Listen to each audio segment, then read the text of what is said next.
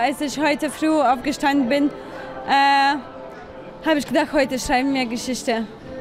Und es ist uns gelungen. Ja, auf jeden Fall, ich freue mich und ich genieße den Moment, den ich jetzt habe.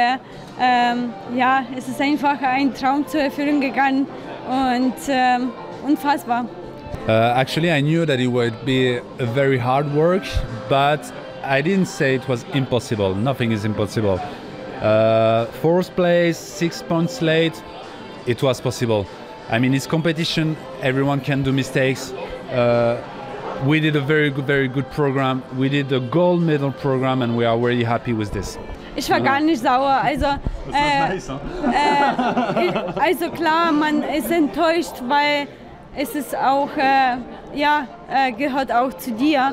Aber ähm, auch mein Mann hat gesagt, du siehst aber glücklich aus. Ich sag, ja, weil ähm, morgen ist der Tag, nicht heute. Und ähm, er hat gesagt, okay, ich bin happy, if you happy. Ähm, und ähm, ja, so war das gestern und äh, niemals gib ab, äh, ab äh, so das, äh, deswegen, also never give up.